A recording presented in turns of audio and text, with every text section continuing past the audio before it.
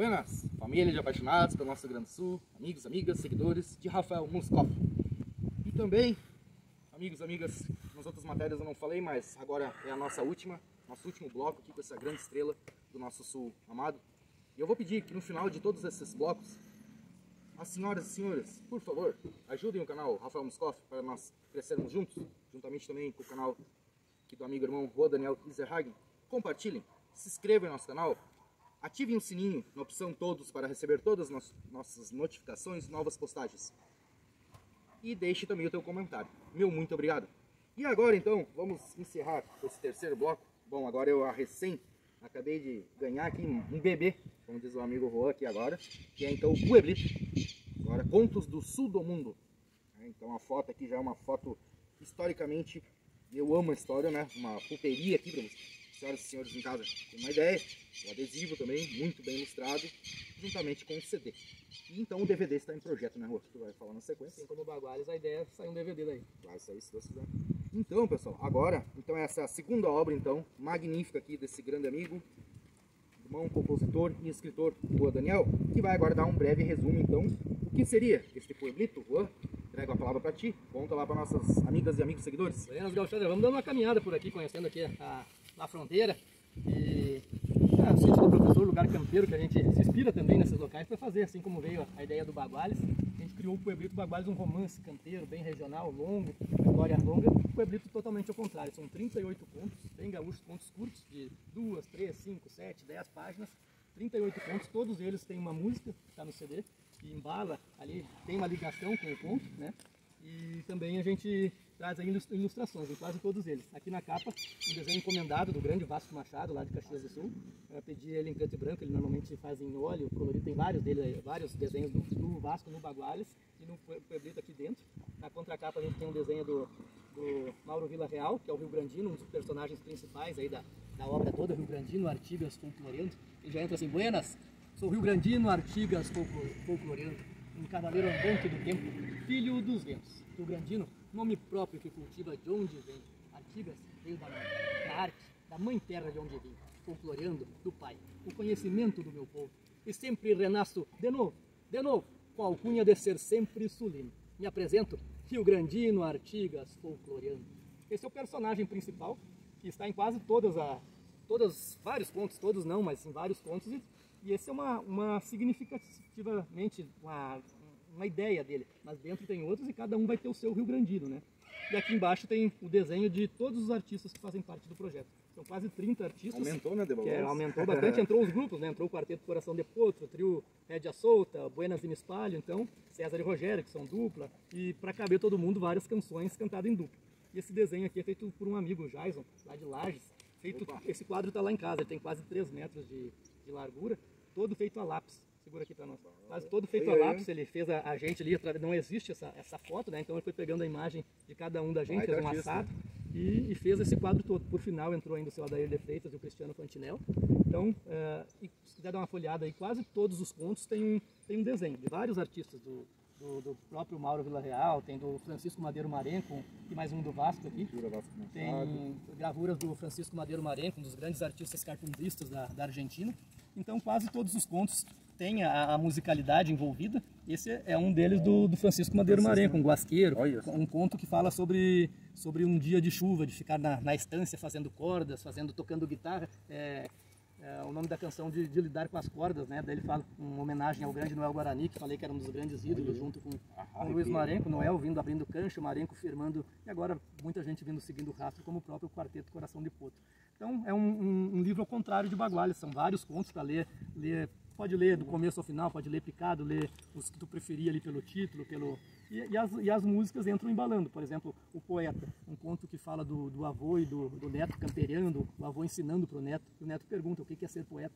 Ele vai explicando por aí, e a, e a canção que dá, dá título a, a, a, esse conto seria A Senhora dos Versos. Né? Então, cada canção, como eu declamei o Rio Grandino ali, tem a canção Rio Grandino, que fala da história do Rio Grandino, encerra o conto, e a Pueblito, a canção Pueblito, feita é, para esse livro, que começou a ser escrito na pandemia, ali, no período gente ficou um mês em casa, que é, é quase impossível, a gente trabalha com, com, comércio e tal, a gente não tira muito, até tira uns dias, mas está sempre ligado. Um período ali que a gente teve que ficar em casa, nasceram vários contos e precisavam de algumas canções para complementar.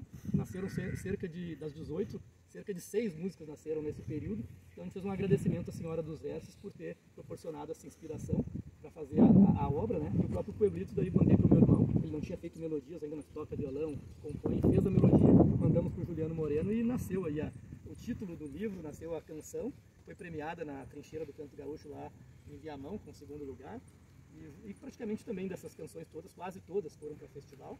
Né? Algumas não deram tempo porque foram feitas já e o livro lançado em, seguida, mas a maioria, cerca de, de 15 das 18 foram para festivais. E conta um pouco dessa nossa trajetória.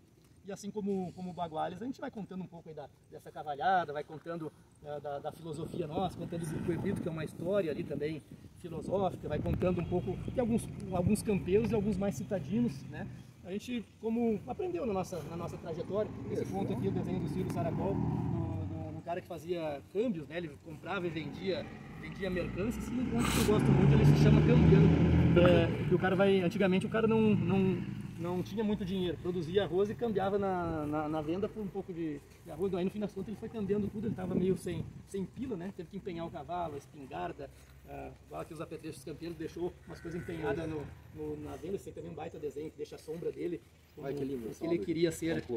Como ele queria ser no, no, futuro. E essa obra cambiando chega ao final, ele voltou para casa e não queria mais saber da, da, de, de lidar com, com aquilo, queria acabar com, essa, com esses campos que ele sempre é, é, era provalecidos em cima dele, ele voltava sempre com menos do que ele passava a vida inteira e queria parar com isso e talvez voltar ir para a cidade, fazer aquela história do êxodo rural que normalmente não dá certo, a pessoa fica infeliz da cidade. Quando ele chegou em casa e viu a, a filharada vindo correndo, a mulher, o ranchinho dele, por mais simples, ele não cambiaria aquilo por nada no mundo. Então aquilo seria a moral da história, que ele já era muito rico, mesmo que ele não fosse bem sucedido nos campos, ele tinha a maior riqueza dele já estava ali. Então esse é o segundo conto da obra, um dos meus preferidos assim mas são 38, 38 desenhos. Uh... me chamou a atenção aqui também, ó, Ritual do Fogo. Isso aí também acho que tem o desenho dele ali, o, o gaúcho fazendo um fogo, que a gente nasceu na, na, na volta de um, um, fogo, na volta do churrasco. Então no, no bloco passado a gente falou da, da, obra Baguales, ao redor de um fogo de chão, estalam brasas hum. antigas, né? Então o ritual, falar aí da, da também de, de ter nascido, de ter contemplar o fogo. E quando a gente faz um churrasco hoje em dia, tá a família em volta, tá os amigos guitarreando. Então o fogo é algo muito importante para o gaúcho. Então a gente tem várias reflexões uh, nessa obra aí, em cada uma, algumas falando já termos mais contemporâneos, mas a maioria trazendo essa linguagem de campo, trazendo essa, essas reflexões e trazendo muita musicalidade ali, muito, muitos exemplos de, grandes artistas históricos, como cita bastante é, Cita Rosa, alguns artistas gaúchos mais atuais, mas sempre tem muita musicalidade, né? E contos aí para a pessoa ter na, na cabeceira. Adriano Silva Alves, que estará aqui amanhã na La Tradição, junto com o Ricardo Berga, fez esse desenho do, do pai e o filho aí. Esse conto é justamente da obra O Cavalo do Tempo, uma obra que a gente foi premiado aqui em Itajaí com o segundo lugar. Uh, contando desse período mesmo da pandemia, do, de voltar uhum. para casa, desencilhar e começar a repensar um pouco na vida. Quanto mais a gente é, sofrer no cavalo do tempo, mais as rédeas disparam e a gente não consegue segurar, a gente se perde. Então foi um período do, muito triste que a gente teve que ter uma reflexão bastante grande, mas que serviu para algumas coisas, para a gente entender alguns valores também, voltar para casa, olhar um período que, que deu para escrever uma obra, não ela completa, mas para iniciar. Tem uma obra de uma foto do Christian Camargo, nosso produtor, que era uma foto que foi pintada à mão pelo Jais, o mesmo que escreveu, a, que, que desenhou todos os artistas. Ele fez, a, quase todas as obras são inventadas. Essa é uma, um desenho em cima de uma foto do Christian, que é o nosso produtor é, musical, e o Pedro Terra, o, diretor musical. Então a gente é, tentou trazer essa, essa linguagem dos pueblitos, do interior, dos arrebaldes das, das grandes cidades, para mostrar a riqueza que a gente tem como estar num lugar como esse, já Balneário, Itajaí, Camboriú juntos, já são praticamente uma grande metrópole. A gente consegue ainda ter ambientes como esse que a gente se sente tão bem, né, Rafael? De estar em ambientes campeiros, a gente encontra uma paz e a gente precisa valorizar isso aqui que a gente, que a gente tem e a gente tenta trazer nessas páginas aí, essas ideias aí, e mais um pouco da nossa trajetória Aqui foi, foi lançado em 2021, está aí praticamente 12, 13 anos da nossa trajetória nos festivais nessas páginas. Olha só, então. Que baita obra, hein, Rô? Que mais baita que encerra, vamos quase encerrando já. A foto aqui dele o próprio, nosso pai criador dessas belas obras. Isso aí também lá na uma estância indicada pelo Christian, pelo Quevedo, lá na, no Estribo, lá em Santo Antônio da Patrulha, um, uma estância, ah, hotel fazenda, lá perto do, do Cristiano, ele, ele toca bastante lá. Lá no Guto lindo, Freire, né? os cavalos que tem lá no centro de treinamento, ele já foi freio de ouro e tal. A gente passou lá um fim de semana terminando a obra e tirando alguns retratos para essa obra aí. Que a gente ficou muito feliz de ter, ter, lançado contos gaúchos que a gente lembrava os antigos lá, Simões Lopes Neto, tanta, né, e nunca tinha feito um conto, mas botamos na cabeça que tinha que fazer, tinha que se esforçar. Tu Foi um pouco o... de inspiração e muita transpiração, muitas madrugadas ali, virando para trazer ao público esse pueblito, os contos do nosso sul do mundo. tu falou agora no, no Simões Lopes Neto, né? Tu sabe que nesses meus roteiros, mais pra frente, eu vou visitar, se é que ele está ainda, tava bem em ruínas, mas lá em Pelotas, lá o castelo do Simões Lopes que é uma obra de arte também de, de, séculos atrás, que é a nossa história pura também, então vou lembrar até que tu falou dele e fazer um ressalte lá, mandar. A gente tem Um muita abraço. riqueza aí pra, pra trazer no, no nosso Rio Grande, muita, Bastante. muita coisa ainda pra compor, muita coisa pra mostrar em áudio, Tu todos não, os roteiros, né? tu não pensa depois lá na frente trazer uma ideia, né? Veio agora aqui na cabeça, mas, cara, eu gosto muito de revolução. E eu acho que tu poderia trazer alguma coisa Dá- sobre a dá mente pra aí. trazer, tem- Batalha já- travada. Já foi do- falado bastante de revolução, mas sempre tem uma visão pra encontrar, uma visão talvez Se quiser, né, me usar como uma parte de um conto teu. eu agradeço. ajudar, a gente sempre agradece Maragato, né? as ideias. Estamos sempre, sempre peleando sempre buscando novos horizontes, novas ideias, novos contos, novos, novos temas para compor as melodias. Sempre ah, vem alguma, alguma ideia assim, é importante a gente anotar e refletir e achar uma visão diferente. Às vezes uma falou agora já me veio a ca- a cabeça, a gente já fez tanta visão de cada lado da guerra, né?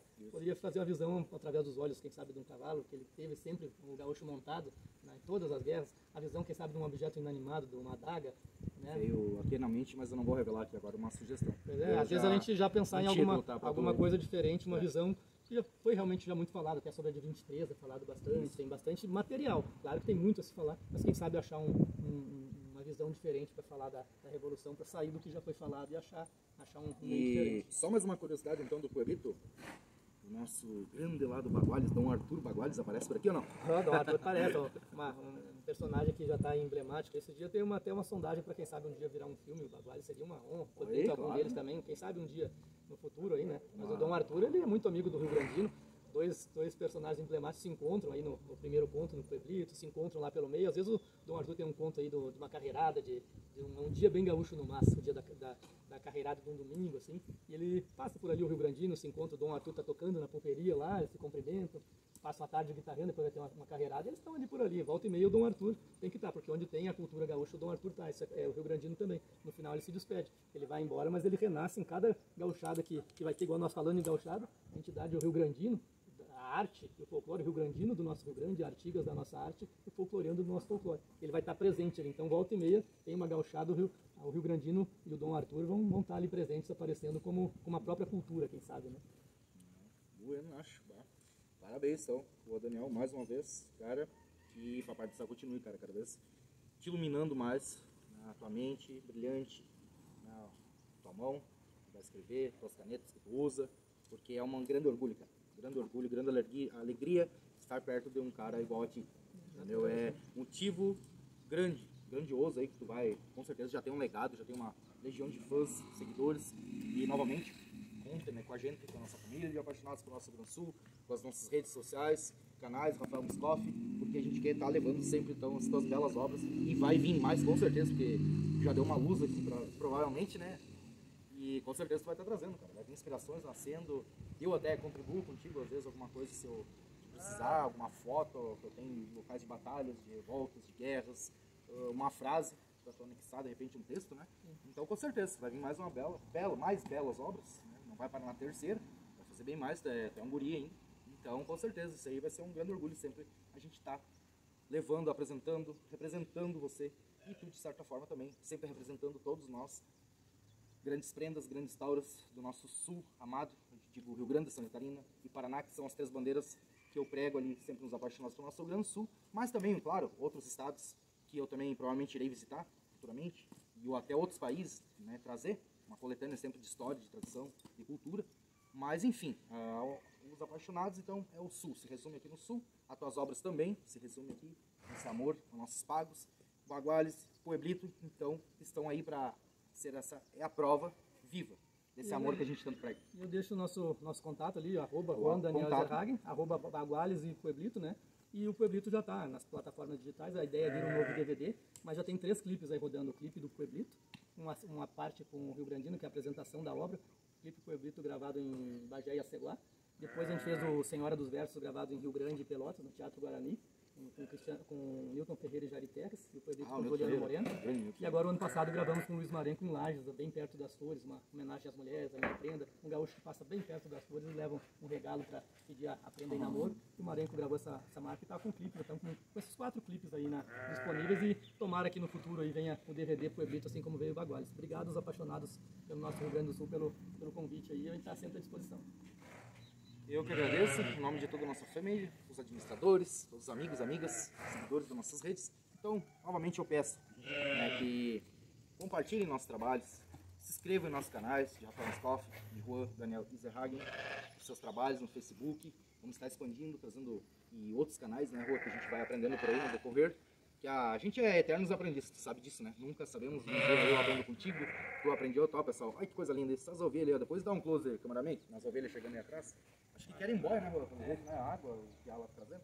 E chegando a hora de dormir também, né? Elas vão ser, se Baita amoitando. agachado, baita lugar aí. Obrigado É um mais local uma vez ao- sensacional, ao cara. professor, ao Abner aí. A gente Uau. tem esse local especial aqui que sempre tem chalchadas largas. Por acaso amanhã tem uma forte aí. Com certeza Rio Grandino, Pueblito vai eh, se inspirou muito nessa nesses Que pena que eu não vou estar aqui. Olha, vou, lamentar isso demais, né? Mas, mas eu virei, com certeza, né, Rua? Sempre eu quero contar contigo quando vier pra cá, sempre estar avisando em comunicação. É, tu é um baita amigo, parceiro, irmão, padrinho das nossas sessões sociais. Então, Deus do céu, então, tudo que tu faz, né, tia, é planto bem e colho bem. Então, somos provas vivas disso aí. São nove anos também de feitos sociais pelo nosso estado. Fora aqui também, quando eu morei pra cá, lidava com outras ações sociais. E juntamente estão anexando tudo esse amor à nossa tradição, cultura e histórias. Mais os feitos de ações sociais para quem precisa. Então, eu sou eternamente grato por tudo, por, por ti e todos os amigos, então, que ó, a gente vai achando nesse Brasil velho sem porteiras. Então, pessoal, terminamos aqui esse terceiro bloco. Juan, muito obrigado então de coração por tudo. Patrão velho, muito obrigado. Alessandro, cameraman, meu muito obrigado. Donos aqui do local, o Abner, por essa honraria, essa alegria de estar aqui. E que sirvam nossas façanhas de modelo a toda a terra. Até a próxima.